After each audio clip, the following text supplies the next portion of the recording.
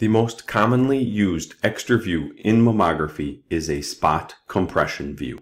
Today, we will learn how it works and when it is used.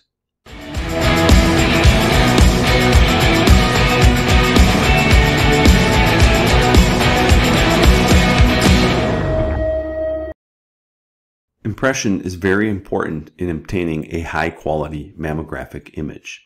You can see from these two mammograms performed of the same breast at the same time the difference in the image quality. The image on the left, it's hard to make out what may be an abnormality and what is just normal overlapping tissue. The mammographic image at the right, which was performed utilizing a slightly higher level of compression, shows adequate tissue separation and allows for detection of any abnormality. Why do we use these additional views? First, to determine if the lesion is truly a real finding. Is it just overlapping structures or is there actually a mass or abnormality in that area? The second reason we use additional views is to better characterize a lesion. Spot compression view, also known as a spot view, is a technique to spread out the breast parenchyma in an effort to decrease overlap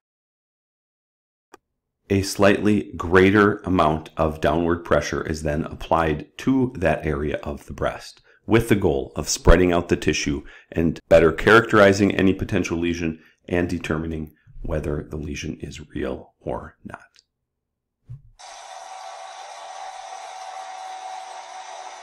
No, no, no, the extra pressure is not that intense. The smaller paddle simply provides more focal and locally intense compression. Here you can see the difference between a standard mammographic paddle, which covers and compresses the entire breast, versus a smaller spot compression paddle, which applies the pressure directly to one small area within the breast.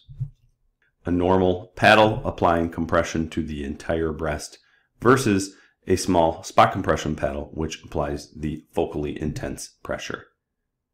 If you apply a small compression plate and push in one specific area, you can see the true identity of the lesion. What you are primarily trying to determine with the spot compression view is whether or not a finding is real. Is it a true abnormality that needs to be worked up further? Spot compression was performed in that area. The tissue spreads out and you can tell no. Simply overlapping breast tissue, not a real abnormality. Continue with your regular screening.